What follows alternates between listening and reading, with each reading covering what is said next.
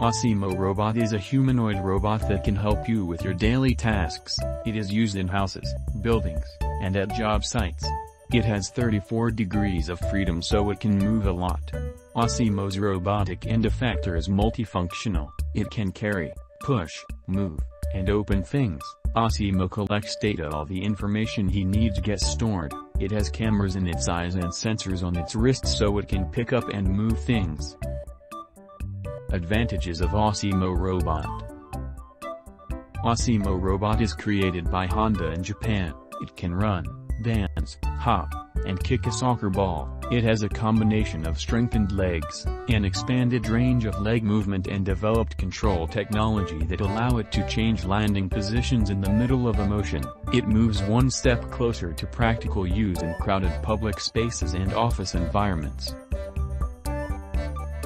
Asimo Robot comes with visual and auditory sensors that allow it to recognize a face and voice. It can recognize the voices of multiple people who are speaking. It responds to people's movement and the surrounding situations. It can stop its current action and change its behavior, and it can predict the direction a person will walk within the next few seconds. Asimo Robot can walk, run backward, and hop on one leg or on two legs continuously, it can walk over an uneven surface while maintaining a stable posture. It has a highly functional compact multi-fingered hand, that has a tactile sensor and a force sensor embedded on the palm and in each finger. It can pick up a glass bottle and twist off the cap, or pour a liquid.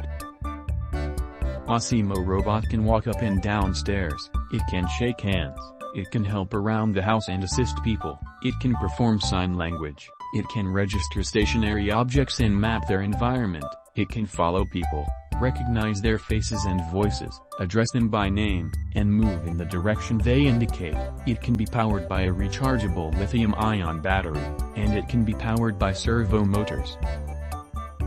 Asimo can play sports, it has 57 degrees of freedom, which allows it to dance, it responds to questions by nodding or providing a verbal answer in different languages.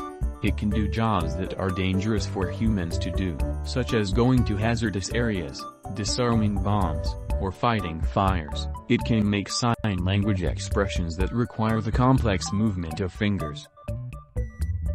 Disadvantages of Asimo Robot Asimo has to be charged, it is not fast, it is small, it costs a lot of people their jobs, and it is costly to construct an Asimo all on your own. Asimo's functioning can be caused become haywire if left without routine servicing and proper monitoring, which can cause destruction and injuries.